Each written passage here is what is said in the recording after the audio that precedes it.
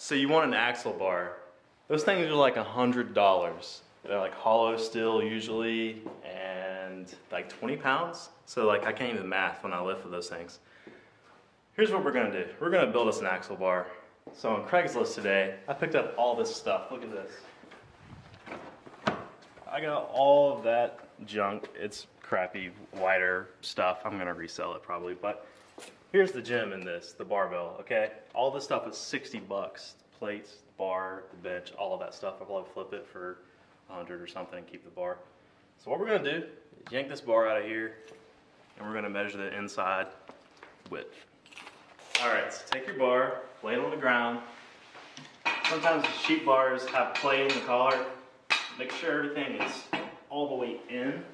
Take your tape measure. Go inside, inside collar to inside collar. It's kind of hard to do this by yourself. You might need a helper sometimes. So 52 and one quarter inches.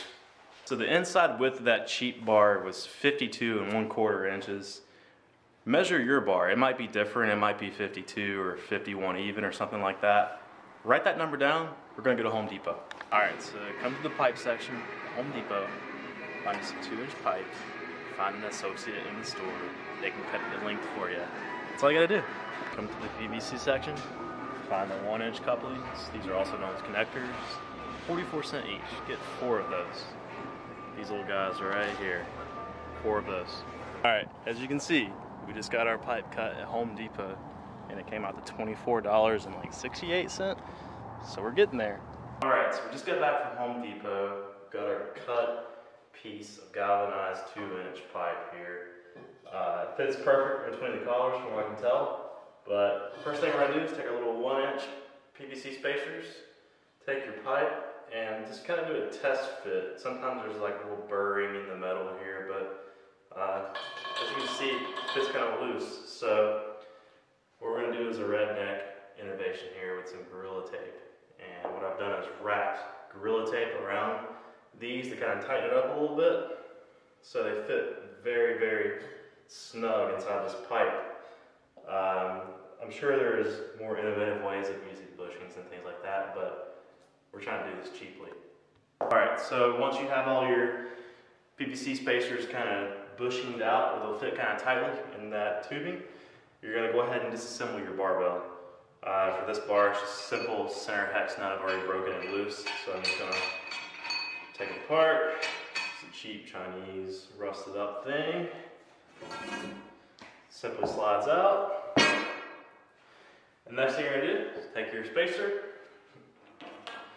You only have to take one side of the collars off. Leave the other side on.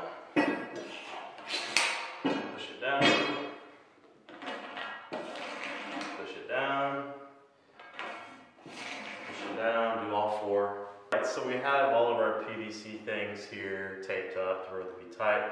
But you'll notice the contact surface inside of these, the bar, is also loose.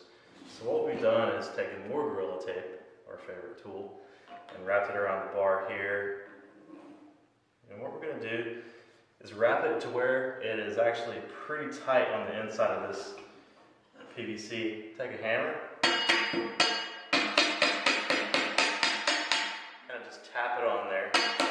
All right, so we got the end down here done. As you can see, there's no way you're moving that uh, part of it here. The rest of these are not quite done yet, obviously. We're gonna finish those up and then put the axle over the top. All right, so we got all of our uh, PVC connections on there, taped up, really secure. No way they're gonna ever move. So what we're gonna do now, take the pipe, come on the end here,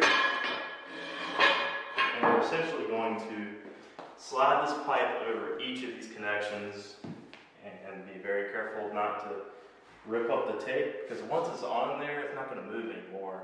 So uh, what we're going to do is just get this pipe over these connections and come back.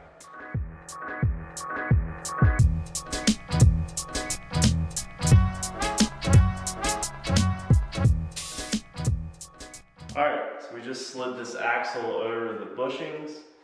Uh, as you can see, like It's really solid, so only thing left to do, bolt your collar back on, and let's do this thing. Alright, so we're all done, everything's tied up. Hey, one of the cool things about this is you can still use your old school spring collars. You don't have these specialty collars to fit a lot of these axle bars, but yeah, it's really solid.